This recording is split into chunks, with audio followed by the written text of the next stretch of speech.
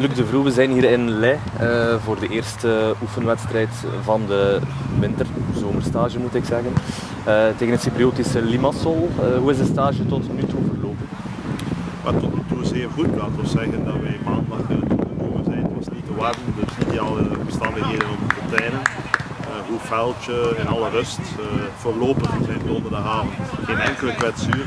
Dus laten we hopen dat we dit kunnen houden tot zondag ook vandaag, oké, het was sowieso spijtig dat, uh, dat twee jongens afwezig waren, maar bon, gelukkig uh, is dat toch nog in orde gekomen.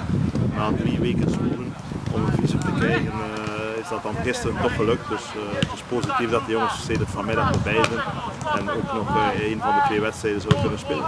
Ja, en zowel Limassol als dan ook Beziktas, ze zijn wel twee gerenommeerde tegenstrevers die regelmatig Europees voetbal spelen. Ja, dat zijn niet van de minste wel. Hè?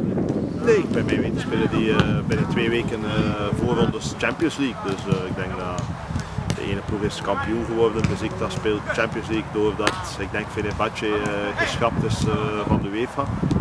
Inderdaad, het zal niet makkelijk zijn, maar ik denk dat zij ook nog in voorbereiding zijn. En ik hoop alleen dat het niet herhaalt wat vorige week hier ergens in de buurt gebeurd is tussen Dynamo Boekarest en Huids. Er is een, er is een beenbeuk gevallen, er is gevochten geweest. Dus, ik denk dat we dat vooral moeten vermijden. Ja, en volgende week ook al, die competitiestart die hier al aankomt, ja, dat is eigenlijk allemaal vrij snel gegaan. Hè?